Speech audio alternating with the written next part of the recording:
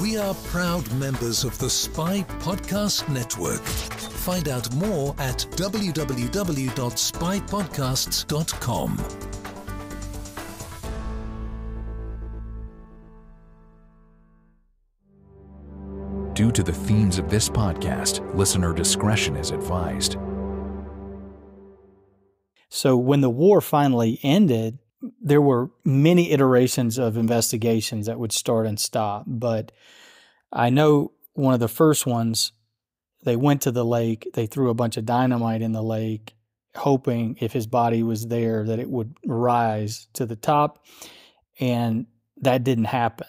So, you know, the first search for his body in the lake was unsuccessful. Lock your doors, close the blinds, change your passwords. This is Secrets and Spies.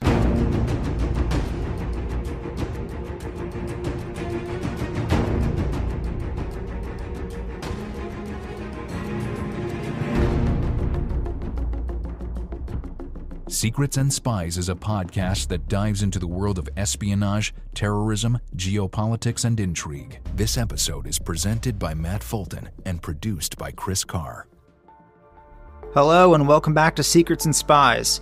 It's Matt here this time. On today's podcast, we have a historical spy murder mystery for you. I'm joined by author and journalist Pate McMichael to discuss his book, Operation Chrysler Stolen Valor Behind Enemy Lines in World War II. It's a story of greed, betrayal, and intrigue set in northern Italy during the closing months of the Second World War. Just before we start, I want to thank all of our supporters on Patreon.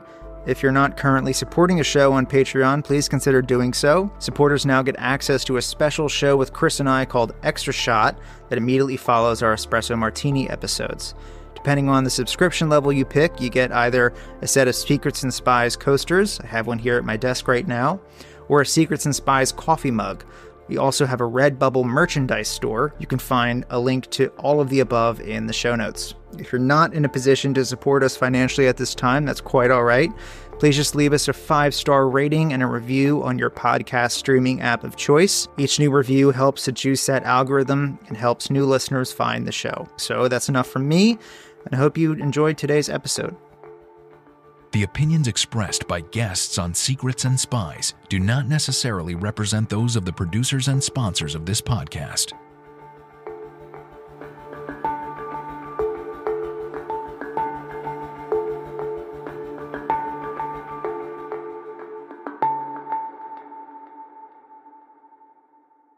Pate McMichael, thanks for coming on the show today. Just before we get started, for the benefit of listeners, um, tell us a bit about yourself and your work. Hi, everyone. I'm Pate McMichael. Um, I'm the author of uh, my first book was called Clandestine, and it's a story uh, about the Martin Luther King Jr. assassination. Um, I'm also a journalist, so for many years I've written uh, long form magazine pieces, and currently my my job is I'm the associate director of the School of Journalism at the University of Arizona. So I've been a professor for over a decade. Great, thank you for that. Um, so we're going to talk about today uh, a book you have out called Operation Chrysler: uh, Stolen Valor in Behind Enemy Lines in World War II.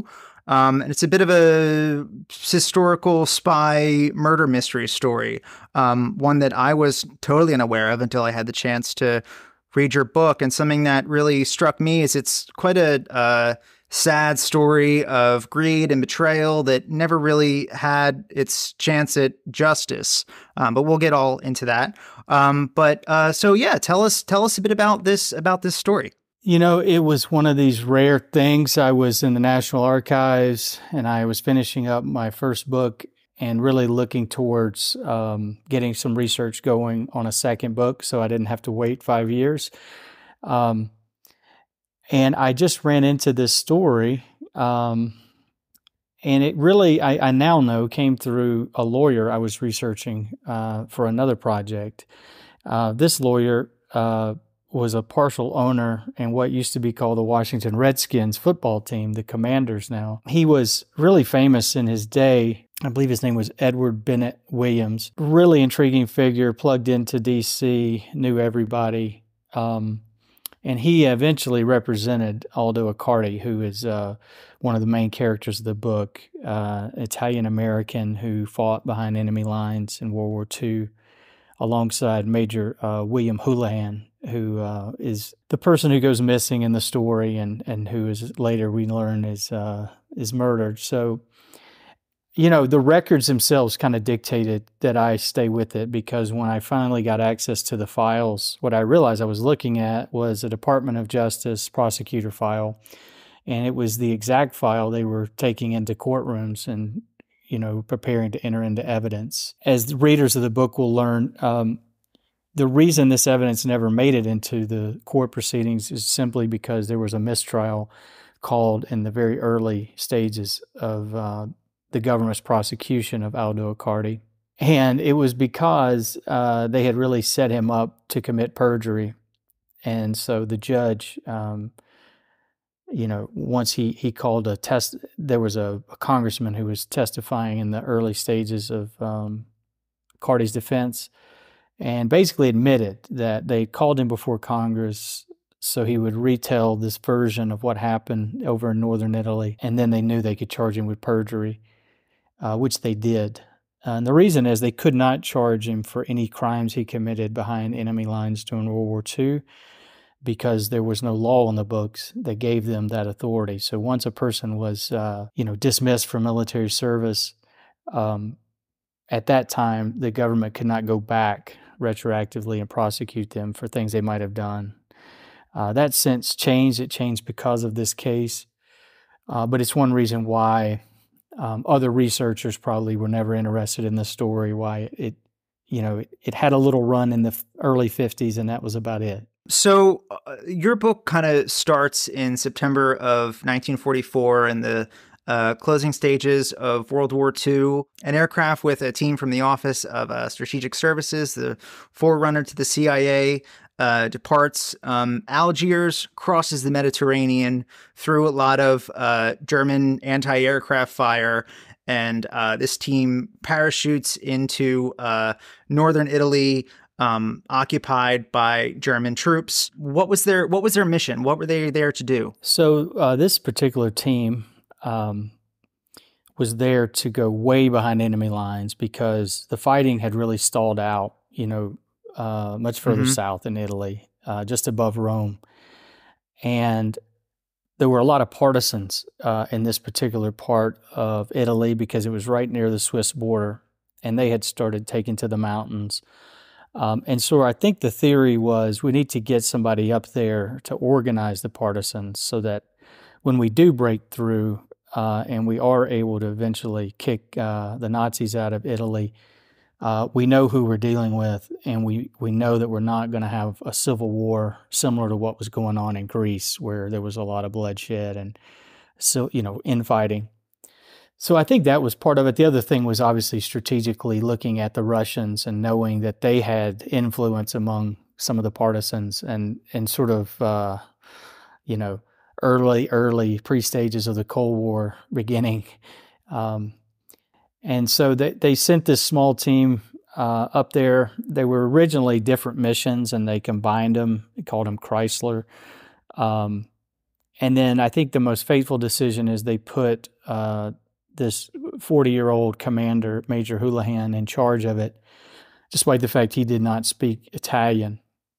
And many of the other uh, members of the mission were Italian Americans who uh, had some competency with the language, um, although they were not all from that particular region where that particular dialect was spoken. So Icardi was from that area, but like Carl LoDolce, who's important in the book, he was more of from Sicilian heritage. So you know his Italian would only get him so far. Mm-hmm. And yeah, they they were there to organize the partisans. They were also there to drop a lot of weapons, and so they they had radios with them, and so it was about setting up a communication line between the partisans and a very secret organization in Milan, and then also being able to use those radios to uh, request drops when needed for guns, food.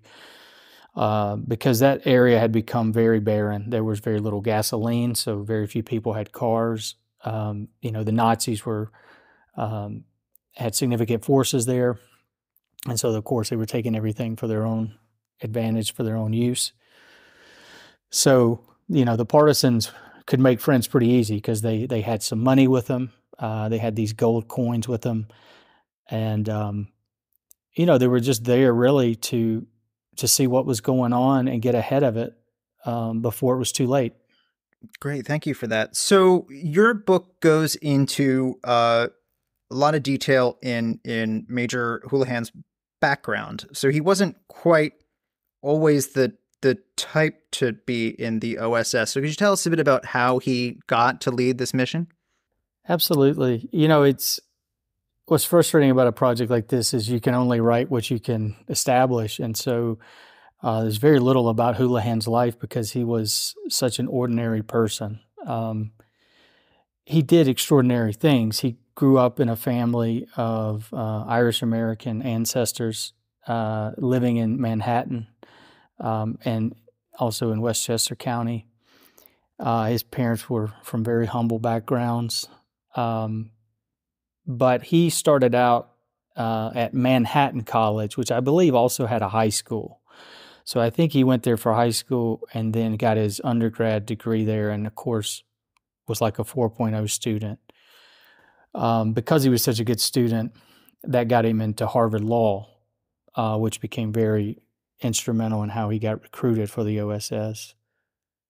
But along the way, you know, he he was in the army, and so he loved the cavalry division of the army, and he served um, in different capacities all over the country.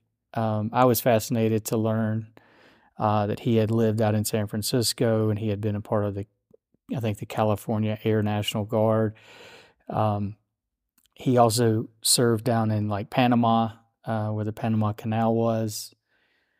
And he also took these secret missions that are just amazing and fascinating um, in Central America and I believe South America, where he was trying to uh, identify what the Nazis were up to in those countries because there was so much fear that they might try to, you know, invade um, or at least have influence there that could be used uh, against the United States.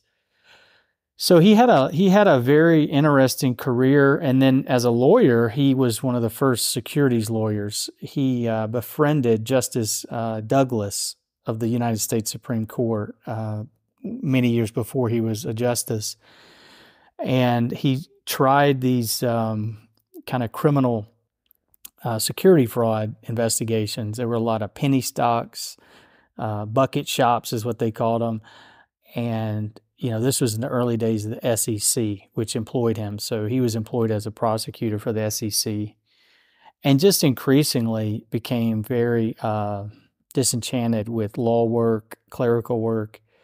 Uh, as the war became more um, inevitable, he started seeking action and started seeking, you know, more contact with, uh, you know, the field and and increasingly was asking not to be put in certain positions because the army wanted to take advantage of his uh, legal expertise, not so much you know his his um, his field work.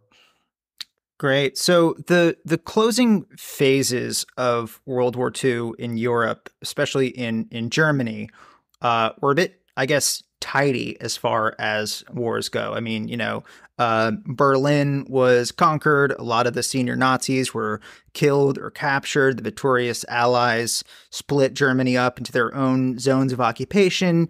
New governments were established in those zones. Sort of the rest is history.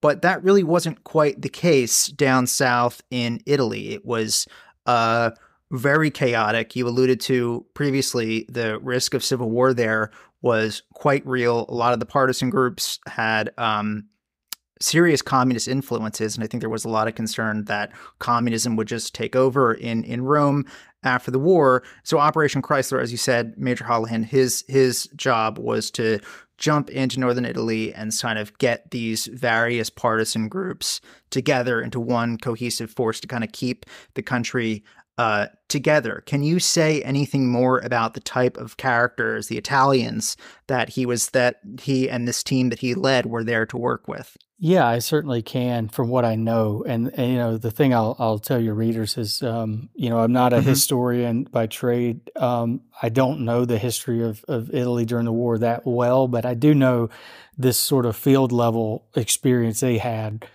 So, you know, when they landed, um, they were originally working with more uh, democratic forces, right? And there was a group that had really uh, taken power in this region. Uh, I believe the guy's name was Daddio, and he had like significantly taken territory from the Nazis and was holding it, and even had like his own little stamp for the region. And right when they arrived, uh, they were being protected by this group, and all of a sudden the Germans did a mop up operation.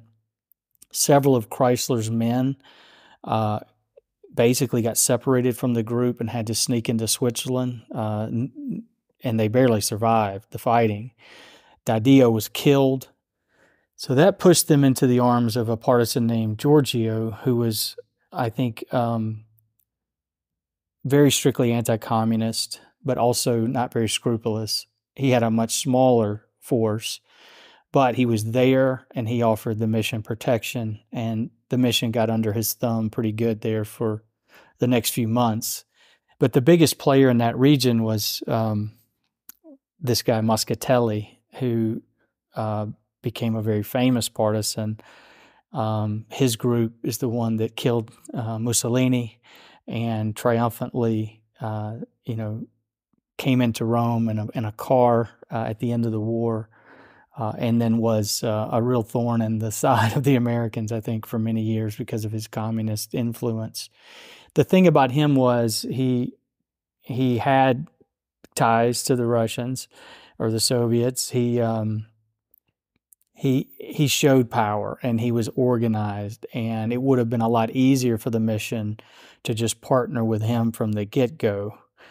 But the thing that Holohan knew is that you know, he was using them and he wanted to get as many guns from them as he could to, you know, secure that he was in charge. And so there was tension right off the bat um, between Moscatelli, Giorgio, and then, of course, the Chrysler mission.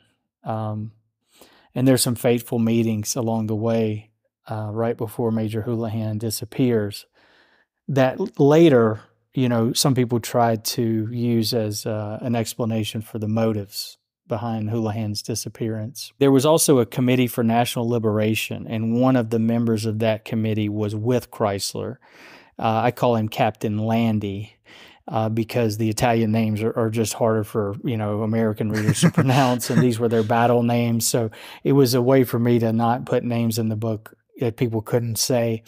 Um, and so Captain Landy was an economics professor, um, but he was really making this sincere attempt to organize everybody and treat everybody fairly. And so the way that this operated was when Chrysler needed something from partisans, they went through this group in Milan, which had a secret radio there that the OSS had provided them.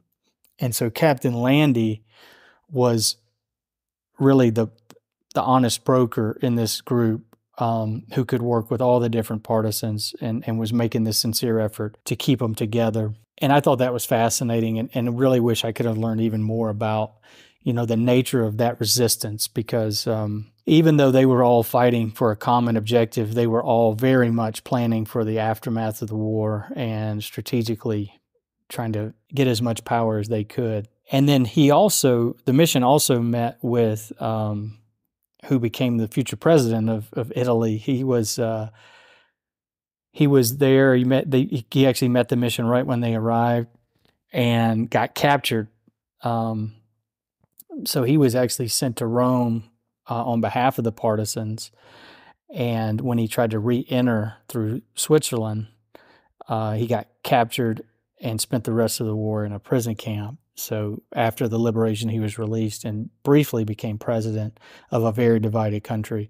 and didn't really last very long. So, you know, they're all the big players are there. And I think folks that know that history better than me would recognize those names as very powerful people, important right. people.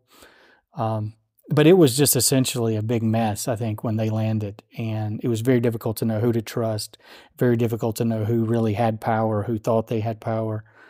Um, and on top of that, they have the Nazis, you know, at any moment ready to um, mount a huge assault against them and wipe them off the face of the earth. So, uh, you know, it was not an easy assignment. And they were in uniform. U.S. uniforms. They were.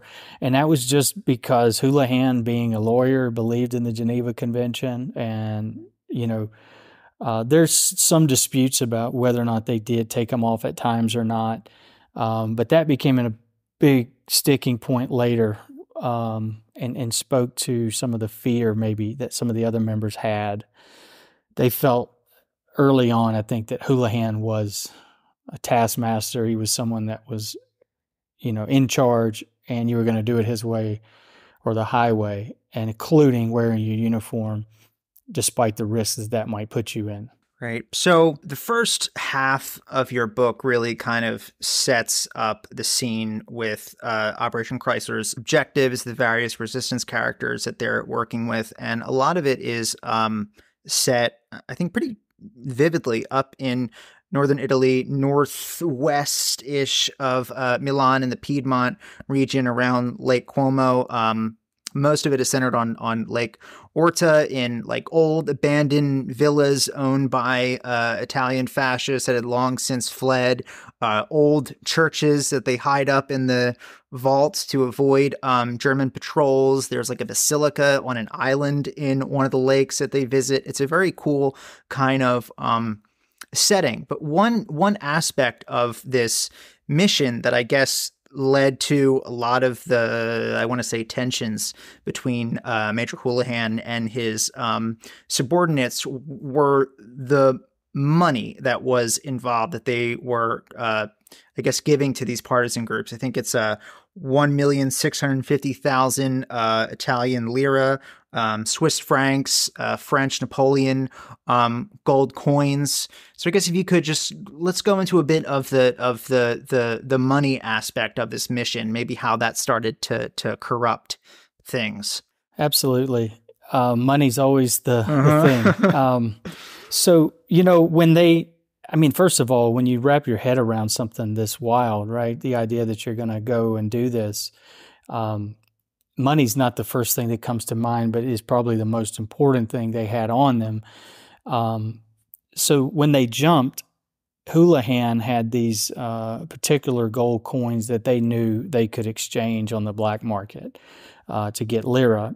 And so he actually divvied them up uh, because if he was killed or he went missing, you know, at least the mission would have some money. So that was very smart. Everybody jumped with a little bit of these coins. And then as soon as they landed, he demanded that those coins be returned. And he kept them on him in a haversack with his initials. They weren't chiseled into it, but it was like it was leather and it was like he had just like taken a pen or something and just you could see the outline mm-hmm. WH on it. That became important later. So he had this money, and very gradually they realized, you know, we need to turn this into cash now so we can eat, so that we can pay people off. And so they found this person who was an industrialist and very plugged in to the partisan groups, and but also some of the maybe wealthy fascists that um, you know maybe didn't want to uh, quite pick a side yet and so he set up an exchange of these coins in darkness. They had this little boat that they rented. It was actually called Liberia uh, Freedom. And they had to, you know, meet up at random places, uh, hand the money off, and then meet up again to get the payoff from the lira. This was all being done secretly. They were meeting up at you know random houses and and because this is a lake community, there's a lot of boats and trips that have to be taken. You mentioned the basilica, so this basilica is important because there's a church, there's a monastery there. Um, Google it sometime, Lake Orta. It's just an unbelievable Gorgeous thing to place. Um, yeah, Alps all Mhm. around it, and so some of the first offerings they were making were to priests, and I was very fascinated by the fact that these priests were so involved in um, helping the mission because I, I know uh, from being a history student in college, you know, there were a lot of criticisms, particularly of the Catholic Church, uh, you know, and, and the stance it had during the war. The rat lines. Yep. Yeah. So I, I was like, wow, this is a real example of these priests risking their lives and, you know, picking the right side, uh, I, at least from my perspective. Um, and so Holohan had this, you know, exchange done. And, and so they got a tremendous amount of lira because it was the black market. So they got really good exchange rates. Um, and then because Holohan couldn't speak Italian, he wasn't directly overseeing it. He had uh, Lieutenant Icardi and Giorgio, the partisan, organized this exchange. And when the money was handed off uh, to them, Icardi and Giorgio pocketed over a million lira of this money. Uh, and later used it to actually start a toy business in the area. And again, you know, I think from Icardi's perspective, um, they were risking their lives. He somehow justified this action. Um, later denied it in his book, uh, but admitted it. Uh, you know, and we'll get into that, Mhm. I'm sure, down the line. But that was a very important piece because when the money got exchanged from gold to currency, um, Holohan was not aware of just how big a a haul they got on this exchange, and so he was led to believe, you know, that there was, you know, they only got half of whatever you know they ultimately did really receive. The rest went into Giorgio and Icardi's pocket, um, and that, of course, is important to the story because it, it speaks to a potential motive. Yeah. So as this operation is going on, the threat of being, um, I guess, discovered by the German troops in the area were were quite real. I guess the partisan resistance kept them from coming um, too far up into the mountains where a lot of this was happening. I mean, you mentioned um, the team was sheltering at this villa on Lake Orta. Is it Villa Castelnovo? I think is how you how you say it. Close enough. That's right. Yeah. And so there were actually two houses, at least two, maybe more. Uh huh. Uh, they were originally in another house. And, you know, they the thought was we need to move frequently, right? We don't want to get get too comfortable anywhere. The final place they were at was um, the the beautiful residence you mentioned, um, and there's some pictures of it on my website for people that want to check that out. Uh, yeah, just a beautiful Italian villa right on the lake. Uh, had access to the lake. Um, you know, had a basement, had a big fireplace, and a very comfortable place to be. Um, the reason the Germans were not just everywhere is they could be picked off in small numbers, right? The partisans could actually fight them. So what would happen is they would mount these huge mop ups and they just come in with guns blazing, cannons, the whole thing. Um, so I think probably on most days there was a weird calm, and it was only you know as they became uh, as as as the Germans became more desperate, uh, as as the partisans disrupted them more frequently, you know the mop ups got bigger, and these uh, Americans were just constantly being chased and hiding out. You know, a lot of what they were doing was just killing time. Uh, in fact, I think one of the, the tasks they complained about later was Houlihan would try to make them useful, so they would do like weather reports uh, and radio those in uh, on days when they had really nothing to do. Um, so, it, it, you know, I, I I have never been in combat. I've never been in, in war, but I, I have friends who certainly served, and they talk a lot about that. That the downtime is really can be significant, right? And that can also lead people to bad places mentally, uh, especially if they're very fearful for their lives. So I I guess we've set the scene a bit. You know, we have uh, this looming threat of the Germans in the background. There's a lot of money involved in this mission. Um, tension within the team. Major Holohan sort of, um, I guess, kind of in a weaker position. He doesn't speak the language. Uh, I, I, guess that that brings us up to the night of what is it, December sixth, nineteen forty four, right? That's that's correct. So what what tell us what what happened on that night? So the the first reports that came out um, actually came through a British mission that was similar. And so one thing I didn't mention is that the British also had a team in there that was trying to do the same thing, and there was competition between the um, OSS, right, and and the British secret forces. So that mission was called Cherokee, which I'm fascinated by that name and why the British mission would be called Cherokee. Um, there are some records I have not seen in the British archives. I just couldn't fly out there to do it. Um, but anyway, that mission reported that Major Holohan had been murdered. And how they heard that is really mysterious to this day. Um, Icardi and LoDolce did radio in that the major was missing, not murdered. So the reports came in to the OSS through radio. And the story that Icardi and LoDolce told, these are the two Americans that are uh, subordinates to Major Holohan. They say that the Germans were in the zone. Um, they were considering moving all day, and finally, around midnight, Major Holohan gave the order. So, because they moved at night, um, they were literally just packing everything up, um, taking it to the boat, and some of them were still, you know, kind of locking up the door, and some were already on the boat or right at the the lakefront.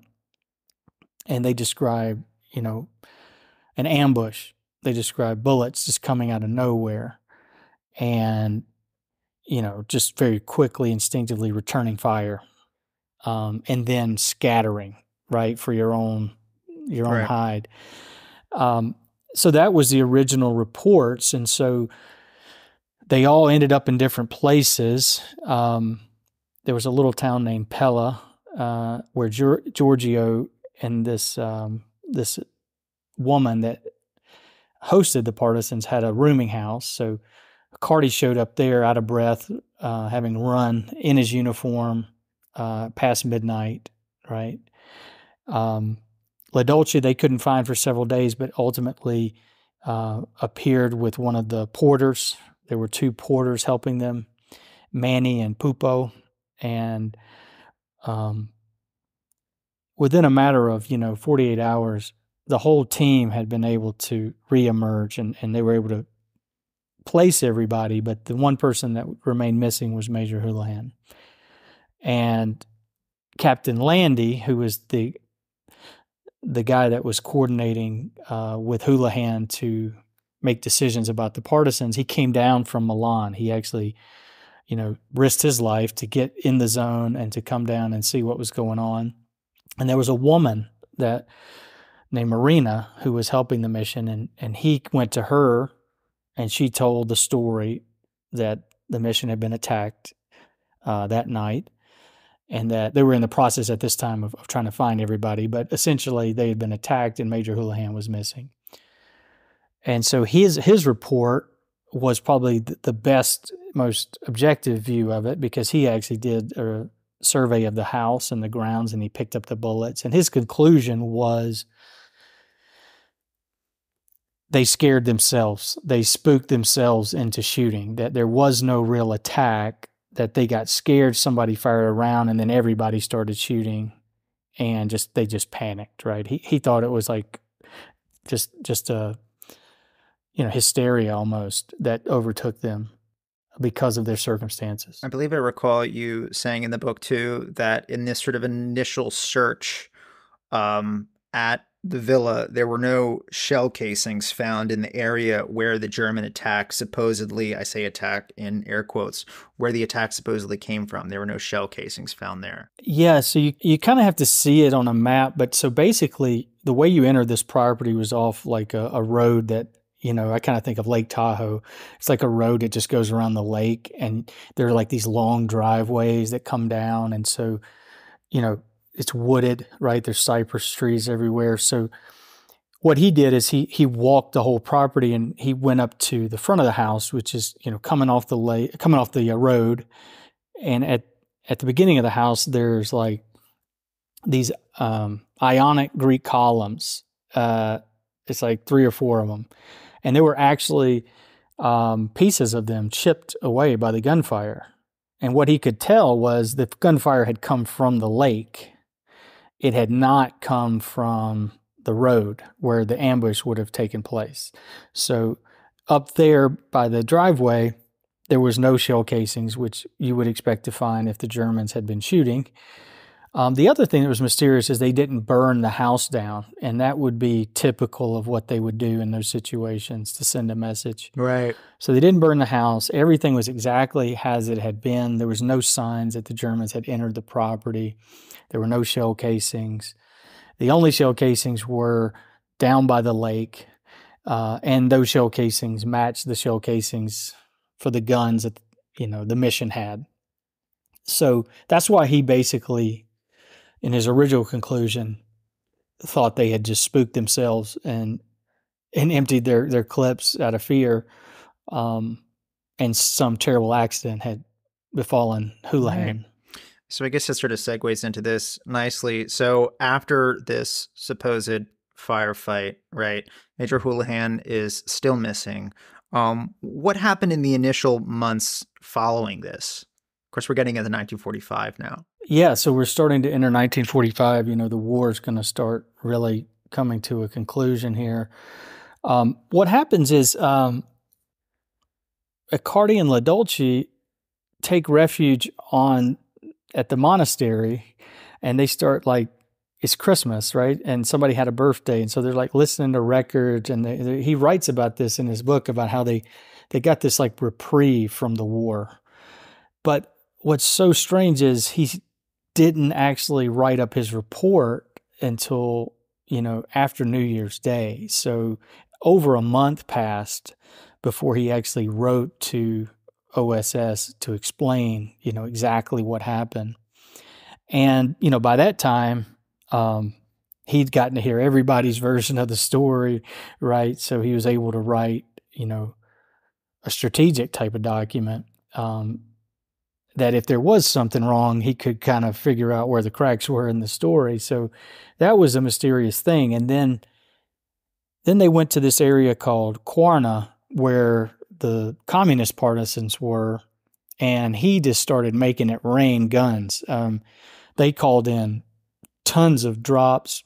They killed a bunch of Germans. I mean, he was a hero to these partisans because they were just getting these beautiful parachutes, you know, coming over and over every week. But it wasn't quite that successful off the bat. He does describe those first couple weeks where there were airdrops that didn't materialize. He talks about being fearful for his life, the partisans might kill him. Um, but ultimately, you know, he got in the good graces of this group. He gave them probably way more guns than they really needed. Um, and they were able to do some real damage to the Germans.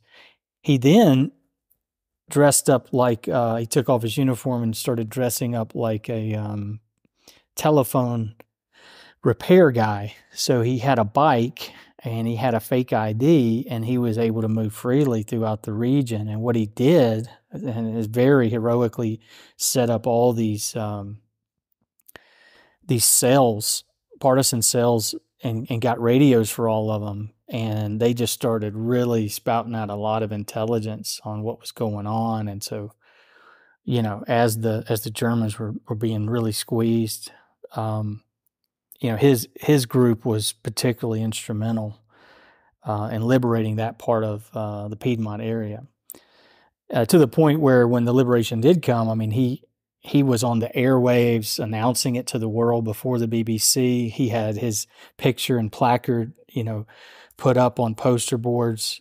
Um, he got the glory because, you know, he was able to kind of complete the mission's work, um, but also do it his own way, which was for him getting the protection he needed from the partisans, living with them in these mountainous areas, giving them what they wanted, uh, and then, you know, using them uh, to uh, to harass the enemy.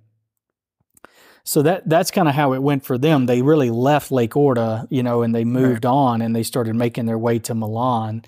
Uh, you know, and of course, the infamous uh, hanging of uh, Mussolini occurs, and Moscatelli is is a big hero uh, among the Italian people in that region.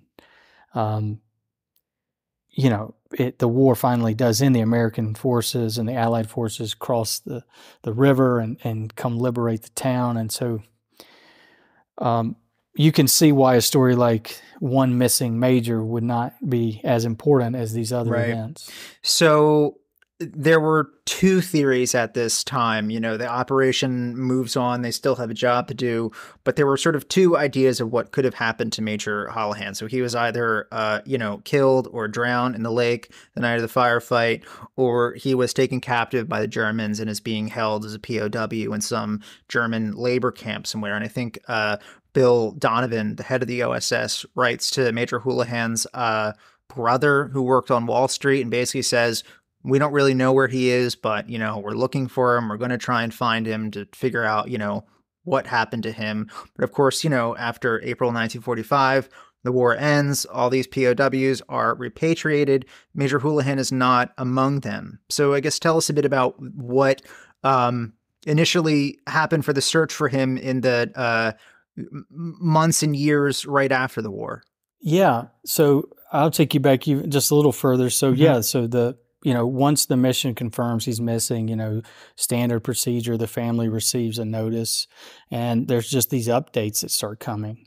But one of the more interesting things is that Lieutenant Icardi, you know, now that he's with the partisans and they're starting to have some success, he reports that um, they had captured a fascist um, you know, in that town, Pella, where, where they had been living uh, at the time of the attack. And he actually writes in a report that they mentioned having an American officer and that they were looking for the other two. And so he wrote this in one of his reports. Uh, and that really made people wonder if, if Holohan was a prisoner of war. So when the war finally ended, there were many iterations of investigations that would start and stop, but I know one of the first ones, they went to the lake, they threw a bunch of dynamite in the lake, hoping if his body was there that it would rise to the top. And that didn't happen. So, you know, the first search for his body in the lake was unsuccessful. And over the next years, you know, so I think it was in August when Icardi finally went home and he was asked questions about Holohan's disappearance. You know, he was interrogated um, and told the same story he always told. There was an attack. Um, you know, one of the investigators, somewhere along the lines of like 46, 47, 48, did uncover that they had stolen the money, that Icardi and Giorgio had stolen the money. And so that really was an interesting find, but ultimately, because of the laws at the time, nothing was done about it. Um, but I can only imagine being Lieutenant Icardi because he goes back to Pittsburgh where his family has a grocery store. And then one day, um, this investigator from the Army asked him to, you know, follow him to a command post somewhere nearby. And they give him a lie detector test and they don't really know what happened to Major Holohan, but they wanted to ask him about the money in particular. So I don't know if I'm getting too far ahead of you, but you know that that was essentially how it was unfolding, right? Yep. Um, there was just sort of a drip, drip, drip over years. Um, I think the guy that got closest to solving it before Manfredi, who's the investigator that ultimately solved the case, was a guy named LaGuardia. And I could not, for the life of me, find anything on this person or, or his files. I really would have loved to have seen it.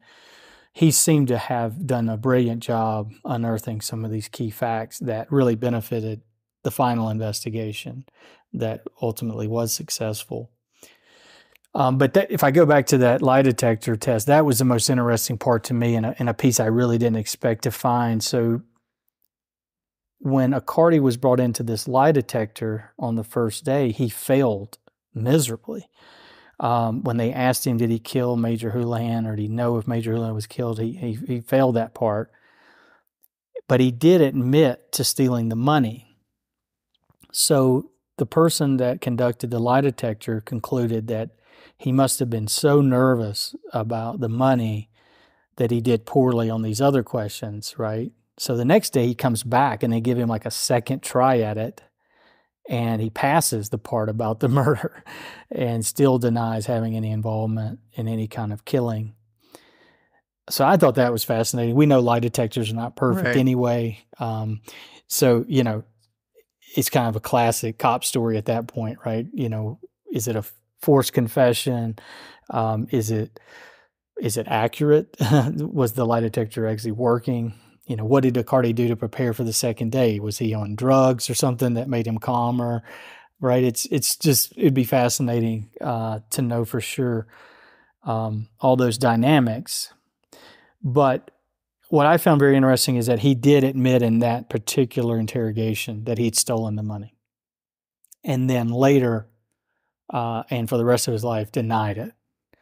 So that was the one of the few occasions where I found him to contradict himself. What was the thought that Icardi did with this money? What we know they did with it because of this LaGuardia investigation is they actually signed a corporation document. So the guy that brokered the exchange for the money, this industrialist, he also knew they stole the money because they came to him and wanted to charter a corporation in the middle of the war, believe it or not they they started a business and it was going to be based in this same region and it actually did become a business it was like they bought lathes and things like that to make wooden toys and i guess the thought was they'd make them in italy and sell them in the us so it'd be like a import export type of thing. Uh, Icardi's parents went to Italy, and, and there was some speculation that they may have actually come to Giorgio's house seeking his uh, the son's share of the money because Giorgio, being unscrupulous, um, may have swindled uh, Icardi's stake in it uh, and claimed that the business failed. So it looked to me like Giorgio was the winner in that that money exchange because he took Icardi's piece of it, started this business, and Icardi's back in the U.S. and all he knows is the business isn't making money, and you're not getting your money back. Um, so that that's still something of a mystery too. Um, but we do know that Icardi's family did pay a visit to Giorgio. Um, and again, the reason Icardi's not paying a visit is, you know, he's he's not going back to Italy um, because there is a criminal investigation going on about Major Holohan, and so that's another aspect is that the Italians actually do conduct a trial and so on and so forth down the road. Um, and so Icardi's never, ever going back right. to Italy, uh, and at the time doesn't know that. Well, let's sort of let's sort of move towards that trial. So we're we're after World War II now. Uh, the OSS is folded into the new CIA, as we all know, um, and I guess Major Holohan is at this point is presumed dead, but his exact fate, I guess, still becomes part of a uh, cold case. You know, there's there's weird stuff about about the money. It's like Icardi uh, fails his lie detector test, but you know you can't really do um, anything about that. Uh, one thing that really struck me about your book is this is this character. He's kind of a, a playboy foreign correspondent based in Rome, a bit of a, a, sensationalist who goes up to northern Italy and and interviews everyone who was kind of in involved in this and draws some uh, conclusions. If you could tell us a bit about that. Yeah, so there was a journalist named Michael Stern, and I know from a previous book that these guys that wrote for magazines during this time they were making mm-hmm. a lot of money, and there was a real temptation to embellish, fabricate, you know, and, and they particularly there was a, a, a deep desire for true crime and sensationalized stories. Um, and so I kind of viewed him as a little bit of a wannabe uh, William Bradford Huie, who I wrote about in my first book, and will one day get his uh, feel. If you've seen the movie Till about the murder Yeah. of Emmett Till, William Bradford Huie had this sensational piece in Look magazine where the killers confessed, and it you know was an international sensation, and Look magazine published it. So, in that vein, Michael Stern was writing for these men's magazines. There were quite a few, um, and he he was very connected. Right, he had been in the army. He helped liberate Rome, and then he used those connections to get in touch with someone from the CID, uh, the Criminal Investigation Division up in, uh, I believe it's Trieste. Um, the Free State of Trieste is where the army kind of remained after the war, and a lot of the administration and stuff, um, things that had to be done after the war were done there. So he goes up there and tells this outlandish story about a colonel and getting access to the files and all, so on and so forth. But effectively, what he got was he got the raw work product of an investigator named Hank Manfredi. And it looks to me like Manfredi and Stern were buddies, probably drinking buddies. And that's how he learned what was going on. So it, Manfredi probably leaked most of this directly to Stern. Because what happened is this investigator started operating in the region, taking like a final crack at the case. And what he did is he started by reviewing everything that had been done, and it was hundreds of pages, and he condensed it into one file. So he knew about the stolen money, and he knew other things like the names of the porters and where they lived.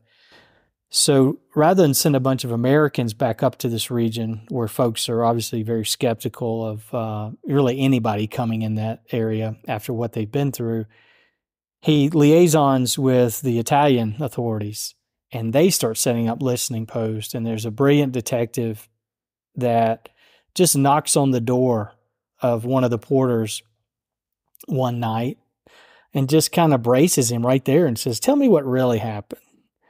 And the guy calls for his priest, and it's this very dramatic thing where he confesses. And he tells this outlandish story about how um, they executed Major Holohan inside the house. They took his body by boat and dumped him in the lake.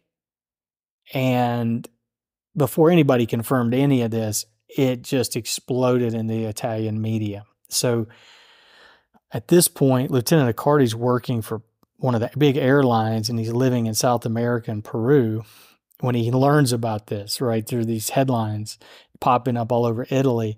And so Michael Stern can read Italian. So he just basically writes this expose uh, in the US for this magazine based off what the Italians are reporting. Um, and so the story does finally come to the United States and it's framed as this huge expose. They kill Major Holohan. And it, the story really does have a moment, right? It, it goes viral, as we'd Yeah. say today, um, to the point where Icardi's in Pittsburgh and he has to go on this radio show and just get interrogated about all this and is basically been accused point blank of being a killer. It does quite a uh, like a righteous, you know, how dare you accuse me of this? You're kind of, you know, ruining my family, my life, all that kind of stuff when faced with this questioning, right? Absolutely. And then again, you know, I'm a journalism professor, so it's fascinating to me that the mistakes that Stern made, and and they even had a very famous editor for the New Yorker, um, uh, who who was involved in, you know, checking the facts and and helping write the story, but they ran a photo prominently and identified the wrong people in the photo. so you know they say this is lieutenant icardi and it's not.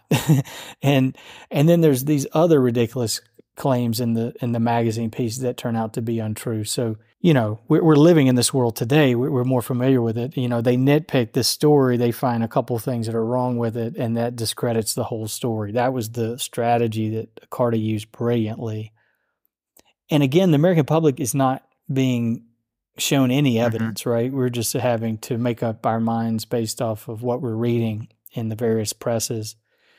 Um, but it is covered by the New York Times. It's covered by all the major media outlets. You know, people in, if you were alive in, in 1950, you were hearing about this. Um, and so what happened after that is Congress calls a Icardi to testify.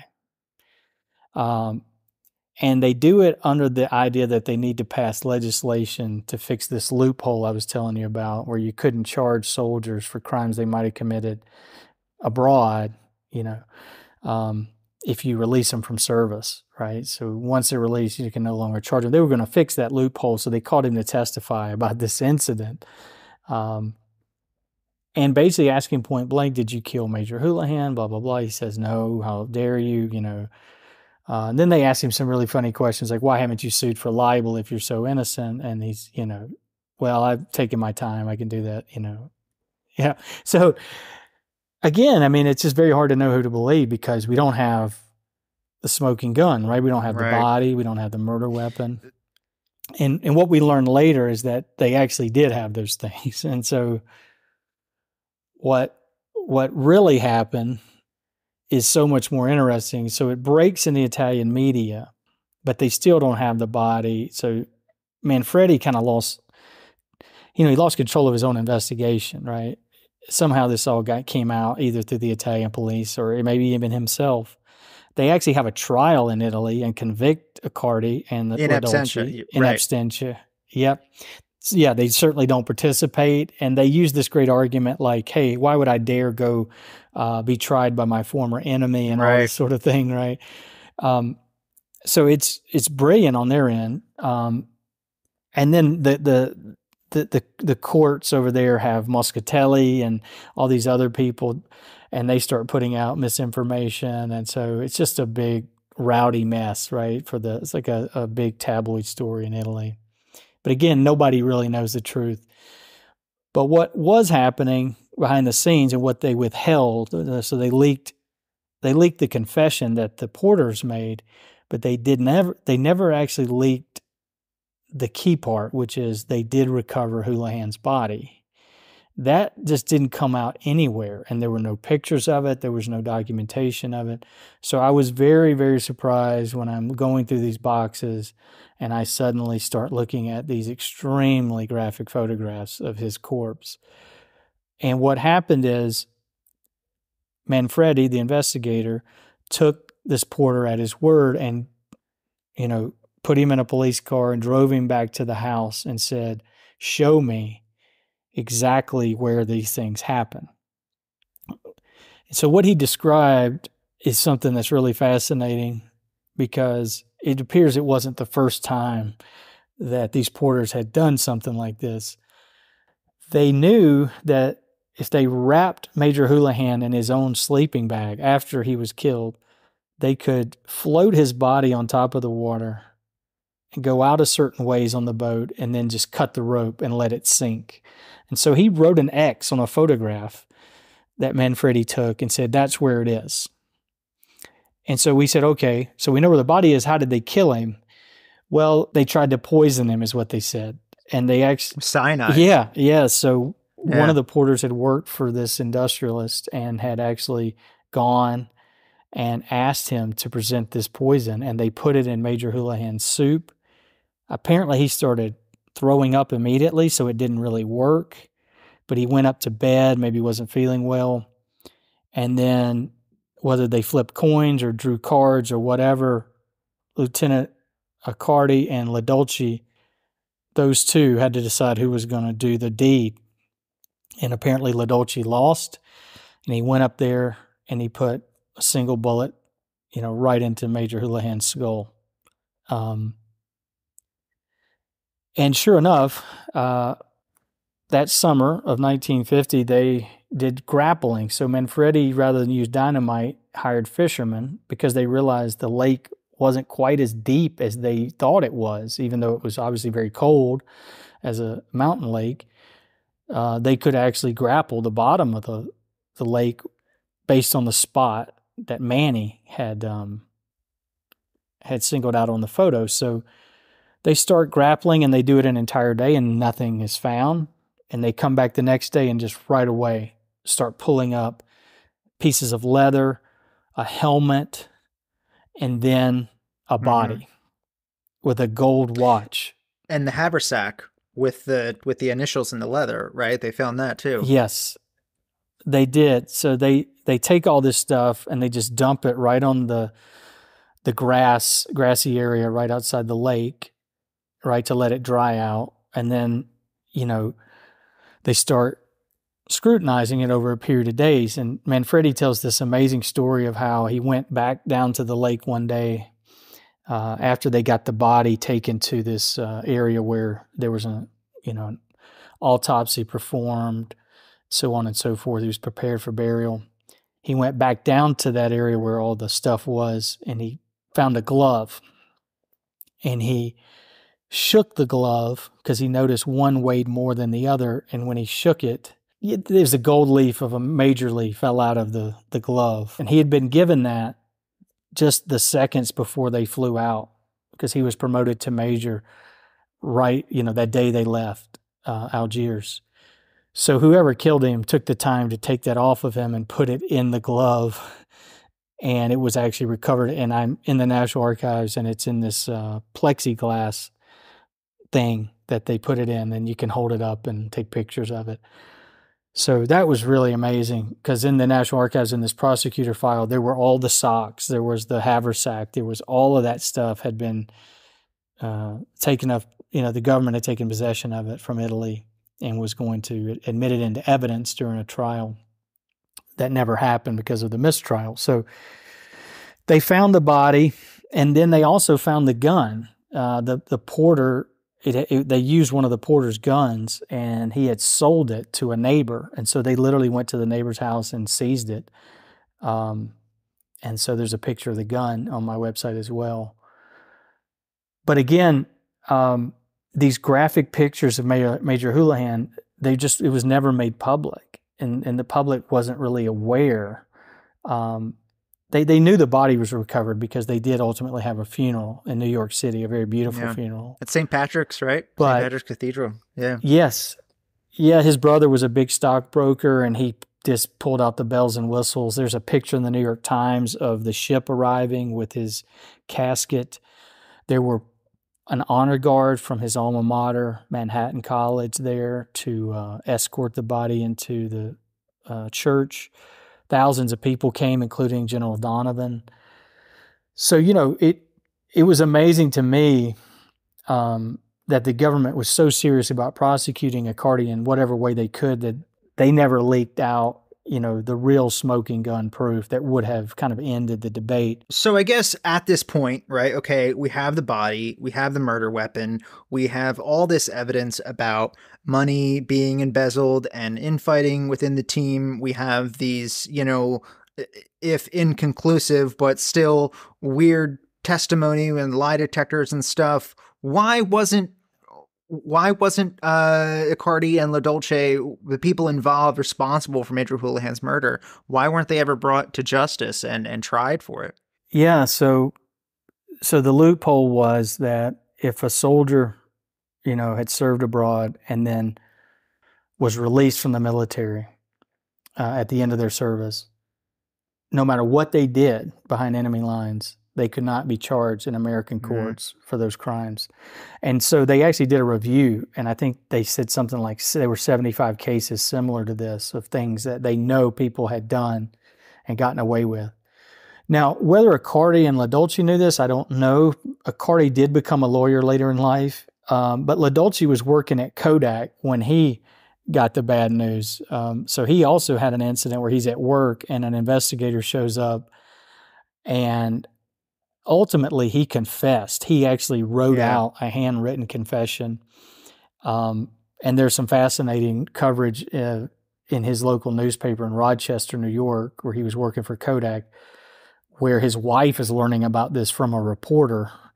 Um, but he did sign his own confession. He was even asked later, was he coerced? And he said, no, I was not coerced.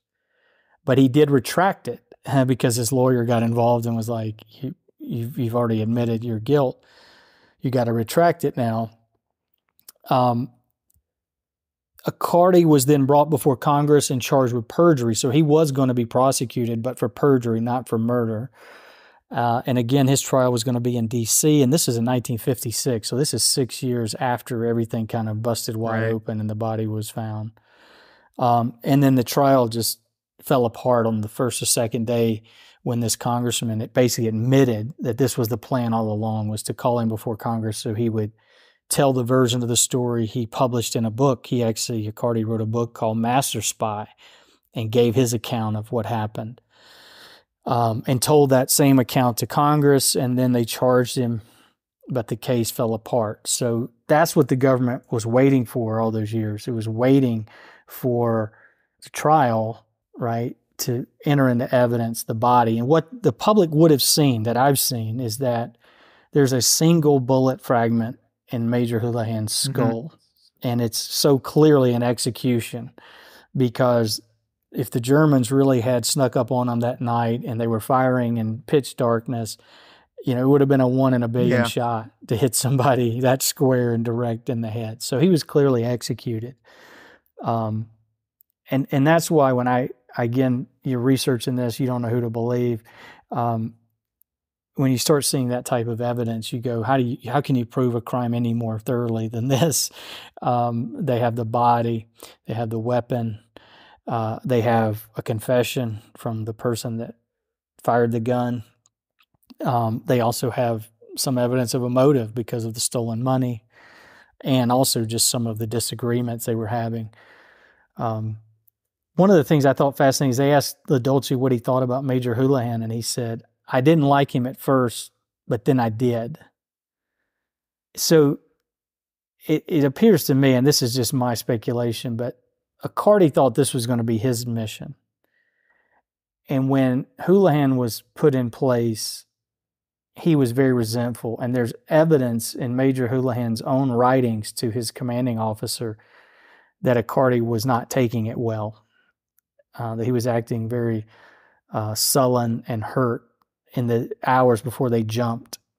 So, you know how that can be in a small organization. If one person is out to get yeah. you, he can recruit others, and, and it appears they may not have given him a very fair shake uh, even, even before the jump. So, how long the plan had been in place or what the exact motive was, I certainly can't draw any real conclusion there the money stands out to me as a very real problem for Icardi because if Holohan had found out, we know based on his background. That that would have been a very severe punishment, right? He would have had him court-martialed um, and most likely put in put in the brig. So um, it could be that simple, you know, that Icardi suddenly realized he had done something really stupid and needed to make this problem go away, and he was – in a part of the world where these porters apparently had some experience doing this because it, in, in some of the testimony it appeared they had they had disposed of bodies like Holohan's before they knew what right. they were doing um, and you know that that that was a, a tough pill to swallow at the end right that they killed their own officer but I think a cool part of the story is there's a guy named William Sulling. He was Holohan's superior officer. He never was behind enemy lines, but was a very important figure in the war in some ways. He actually accompanied um, Allen Dulles all the way to Berlin and was with Dulles uh, at the time of the surrender and everything. And he wrote a memoir that's unpublished. It's at the University of Virginia. It's one of the most fascinating things I've ever read. Um, so in some ways, I felt like Holohan's legacy lived on through him, and and this service, this tremendous service these guys had, because they were both similar in age. They were older. They were doing this just because they thought it was the right thing to do. You know, Holohan went over there for no other reason than he wanted to kill the Nazis, and he believed in democracy.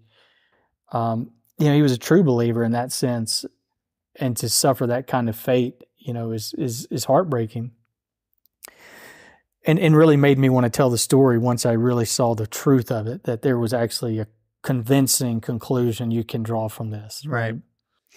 So, uh, you know, um, Icardi, LoDolce, because of this legal loophole, they essentially get away with with murder. What what ultimately happened to them? What were the rest of their lives like?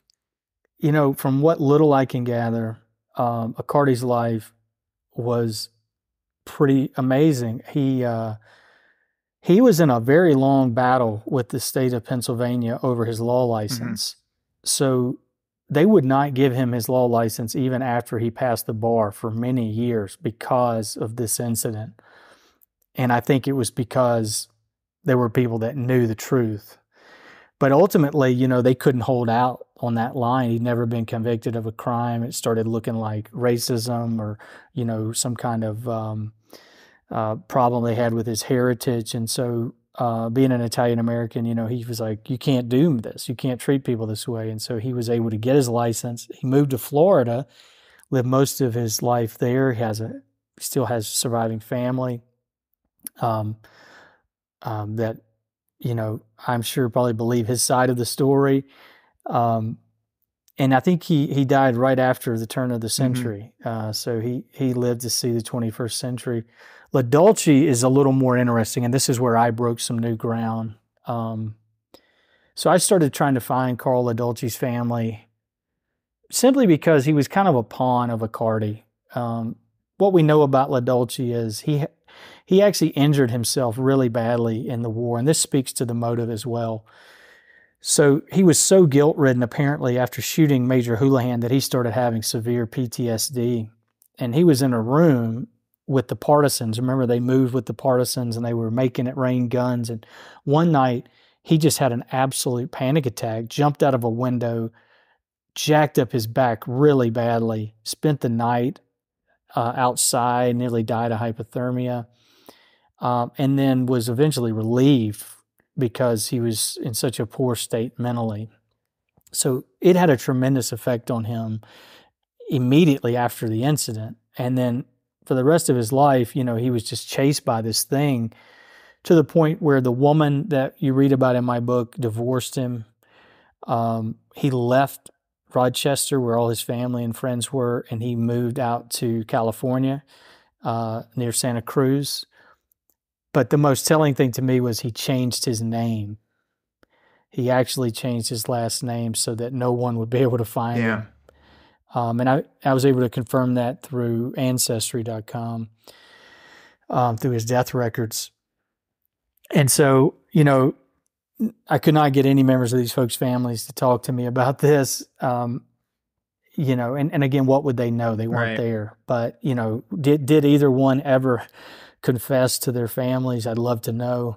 Um, hopefully someone's out there that knows the truth will will speak up at some point.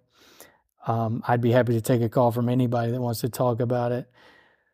But ultimately, you know, it looks like they live pretty satisfactory, peaceful lives. I just wonder you know, in their own private minds what life was like, knowing what they did uh, and how they did it. I, I, will say this in their defense, they were under tremendous stress right. and they appeared to have serious problems with the way Holohan was running the mission. There's a scene in Icardi's book, which I do believe was somewhat embellished, but mostly true, where they hit out in the like what is the right word for that? Um, they hit out above the altar of a church in this narrow little space in like a crypt area or something above the, the altar and they stayed there for like a week and had nothing to eat and Icardi described the Germans like being right on their tails, you know, right outside the church. Um, LoDolce actually described it differently, said the Germans never really got that close but they were definitely in that church for a week, scared for their yeah. lives. You know, at that point, they may have made the decision that they needed to get rid of Holohan because he was putting them in this kind of danger unnecessarily, right? So they may have slept peacefully, thinking they had no other choice if they were going to survive. Um, but they certainly didn't express those concerns to anybody. There's no record of them documenting that or, or you know, radioing in uh, concerns about Holohan, which you know most soldiers wouldn't do anyway. Um, they would just take their orders, right? So I, I've tried to give them in some way the benefit of the doubt in my mind that you know I don't know the circumstances they were in, but I do believe that they, in a premeditated way, you know, assassinated Holohan uh, in a very cowardly way, right? When he was uh, in his own bed uh, either asleep or sick from being poisoned. Yeah, something that um, you mentioned the sort of cowardly way that Major Holohan was was killed. I think the big thing that I took away from this story and from you know reading reading your book, um, I think a lot of times when we you know when I guess this is true for listeners also, uh, we want stories to have a happy ending. You know, I'm a I'm an author. I wrote a, a spy novel. You know, that's something that like you have to give people in the end, or at least a bittersweet ending. There has to be a sense of justice at the end. You know, it has to make sense. The people who did the crimes have to pay the price. But I think what's what's so important about this story is that that never happens. And I think it just shows that in life you don't you don't have to have you don't you don't always get justice, you know? Like I'm thinking of like um Eddie Gallagher, the former Navy SEAL who, you know, basically openly admits to in Iraq and Afghanistan, like just committing war crimes. But he's out, a free man today, has quite a, I guess, fulfilling life and and career, and that's just something that you know we have to kind of just accept and and move on. You know, there's kind of nothing that that you can do about that, and that's that's that's tough, but that's tough to, you know, accept, to grapple with, but that's that's life. That's how things are sometimes. Um, and with this story, you know, there's a there's a Wikipedia page. There was a lot of uh, press interest back in the you know early 50s when this stuff came out, but really nothing uh, can in the in the contemporary record apart from your book. There's really nothing out there about this story. So I guess what you know led you to this? Yeah, I I, I, definitely thought long and hard about writing a book that had such a bummer ending. Yeah. Right? Um, I, you mentioned the Gallagher case. God, that's infuriating. Yep. I remember that very well. How Trump really leaned into that, embraced him, embraced him, and and used that, you know, in the same way that they did William Calley during uh, uh. Mm-hmm. Uh, Calley is from Georgia, where I'm from, and he, uh, you know, he went on to to live a very comfortable life uh, down in South Georgia. I, I, don't know if he's still alive today. I think he may have passed a couple did, years yeah. ago. But you know, the hero of that story was also from Georgia. He was from Decatur. Um, he was the helicopter pilot. This is during the Vietnam War, just so people are unaware of what we're talking. Right? Yeah. That's yeah. So Hugh, yeah, Hugh Thompson was a pilot that saw the My Lai massacre happening in 1968 or so in, in Vietnam. Um, or whenever it happened, and, and it came out in '68. But um, you know, he he landed his plane and he put a halt to the massacre and then testified. And so, I've always wanted to do a podcast or something on this because I went back and saw these like clips yeah. from um, our television station where people are defending Calley and calling Hugh Thompson a traitor. You know, and and so that's that's not unique, right. right. That we've had other situations where the the bad guy wins or gets away with it. I, I do think what I like about the story is just the thought that they had to live with this, right? They had to live with it. And and I think we all know from Facebook and Instagram, everybody looks so happy on social media, but what are they really grappling with in life? That's a good you know, point. Those those are dark corners. I, I want to see this made into a movie because I think a great actor could encapsulate some of that, you know, um, in a way that it's hard to do with just the printed word. I'm bound by the facts. I'm bound by what I actually can prove. That's why the book's only 100 pages because I literally can't answer most questions people would ask me because there's it's so mm-hmm. obscure. Mm-hmm. But that was attractive to me in the sense that hey, here's an untold story here's a story, a true crime story that has a really interesting history behind it. So it's like true crime with a yeah. soul, right? Um, and, and you never know, right? It's like when I heard Donald Trump use the phrase perjury trap over and over again during his tenure, that's exactly the argument that Icardi's lawyers yeah. were making. Um, and it's exactly the reason he did not go to prison for perjury because they did try to trap him. So I was just, you know, like I should write an op ed for Politico or something at that time. And I'm like, nah, I don't want to waste my breath on this. You know, this is yeah. so stupid. But, but at the end of the day, like there are parallels, right? There are, there are things we can draw from these stories and maybe not right? Fall into the trap of the Gallagher fanboys out there, um, because what that guy did was just indefensible, Mm-hmm. right? Yeah. So before we uh, end here today, anything you'd like to add that we haven't gone through already? You know, the only thing I like to say is like, I'm selling this book for five bucks. You can get a you can get a printed copy for five bucks on Amazon. I'm not making any money Mhm. off of this. I've lost a lot of money on it. I just ask that people read it. You know, read it and enjoy it, um, and think about it because you know, I think a lot of times with spy stories, I love spy genres. I, I watch every movie. I, you know, I've read the books, and there's a certain weirdness sometimes around spy stories because we we kind of get so morphed into that world of what it must be like and how it's all a big game. I think this story's different because this is what a real spy looks like in World War II when you're on the ground risking Yeah. your life. And you know, it, it- you, you you see these institutions like the CIA and the and and other institutions and, and they're talking about people's lives, you know. There's somebody out there right now, um, you know, not with the protection of an Yeah. embassy that is really risking their lives for our country and other countries. And uh, those stories are so hard to find. And, and to find one this good, it's a very different circumstance. Um, I think it's pretty unique. Uh, so people, if you do take the time to read it, um, you, you may not read a story quite like this again. Right. I, I think that's a really great point. I mean, like I said, I uh, I like.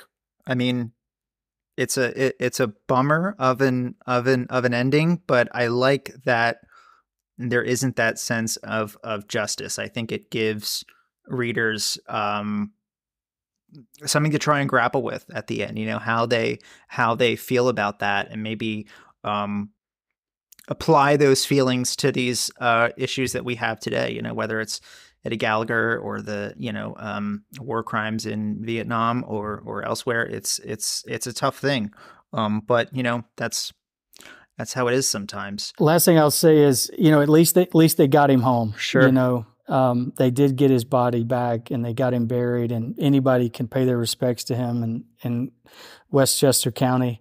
Um, go to Find My Grave and look him up. Uh, you'll see that there's a beautiful Irish High Cross on his grave. He's buried with his parents. Um, I'm not a very religious person, but I do take some solace in that. And I thought his brother did everything Yeah. he could to to get him home. So sometimes that's the only ending we get, unfortunately. Well, I guess that is sort of the bittersweet, the bittersweet aspect of this that he's not, you know, sitting on the bottom of that lake still today. He is home and he had a funeral. That's right. Yeah. Where can listeners find more about you and your work? So I have a website. It's my name, patemcmichael.com. Um, please go there. I've got some stories I've written that are even shorter than this, uh, magazine stories that you can download and read for free. Um, and then, of course, on Amazon, you can find uh, you can find links on my website to to the book and to other projects I've worked on. Um, in the future, I do have another true crime story I'm hoping to tell. It also has a spy component. Um, but I, I need to get busy writing it. So hopefully there'll be more from me soon, right?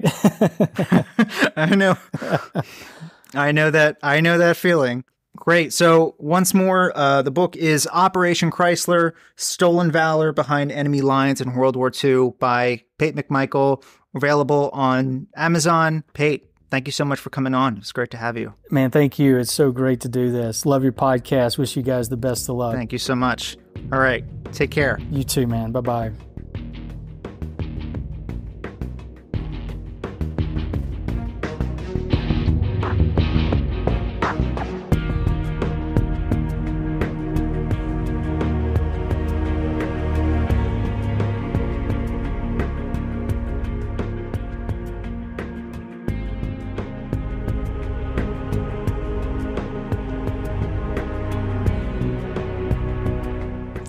For listening. This is Secrets and Spies.